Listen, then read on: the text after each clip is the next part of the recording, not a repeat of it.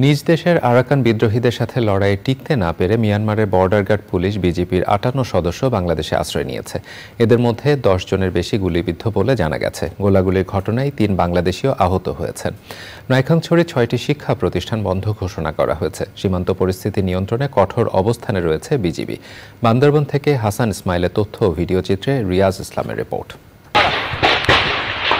বান্দরবানের নাইকিংছড়ির ঘুমধুম তমরু সীমান্তে মিয়ানমারের অভ্যন্তরে সামরিক জান্তা বাহিনীর সাথে দেশটির স্বাধীনতাকামী সংগঠন আরাকান আর্মির তুমুল লড়াই চলছে। সীমান্তবর্তী ক্যাম্প দখলকে কেন্দ্র করে রাতভর উভয় পক্ষের মধ্যে ব্যাপক গোলাগুলি হয়। যুদ্ধে টিকতে না পেরে মিয়ানমার বর্ডার গার্ড পুলিশ বিজিপির পঞ্চাশের বেশি সদস্য বর্ডার গার্ড বাংলাদেশ বিজিবির ক্যাম্পে আশ্রয় নিয়েছে। এর মধ্যে দশজন গুলিবিদ্ধ অবস্থায়। আহতদের স্থানীয় হাসপাতালে ভর্তি করেছে বিজিবি। আরও কয়েকজন বিজিপি সদস্য বাংলাদেশে আসার জন্য শূন্য রেখায় রয়েছেন বলে জানা গেছে। রোববার ভোররাত থেকে লাগাতার গুলি, রকেট লঞ্চার মটারশেল বিস্ফোরণে বিকট শব্দে কেঁপে উঠেছে সীমান্তবর্তী নাইকুংছড়ির ঘুমধুম তুমগ্রুর বিস্তীর্ণ এলাকা।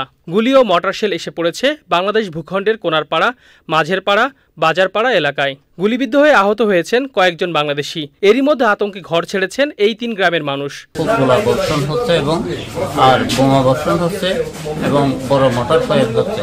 এগুলা খুব ভয়াবহ ভয়ঙ্কর এবং আমরা বর্ডারে আছি এবং খুব ডরের মধ্যে। প্রচুর গোলাগুলি চলে শব্দ আড়াই দেখুন বর্তমানে পড়ে সীমান্তে প্রচুর সংঘর্ষ চলতেছে মিয়ানমারের অভ্যন্তরে। মাঝে মধ্যে ছোটোখাটো বুলেট এসে এখানে পড়ে। এবার বুলেট এসে পড়ার কারণে এখানকার তিনজন স্থানীয় গুলিবিদ্ধ হয়েছে। ঘুমধুম তমদুর ছয়টির বেশি শিক্ষা প্রতিষ্ঠান বন্ধ ঘোষণা করেছে প্রাথমিক শিক্ষা অফিস।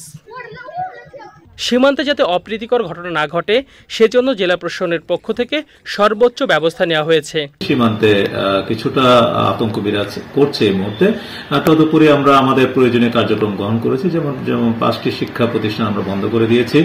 আমাদের যে যানবাহন চলাচলের যে সমস্ত ঝুঁকিপূর্ণ জায়গাগুলো রয়েছে সকলের নিরাপত্তার কথা বিবেচনা করে কিছু জায়গা সীমিত যান চলাচল সীমিত করা হয়েছে কিছু রাস্তা বন্ধ রাখা হয়েছে।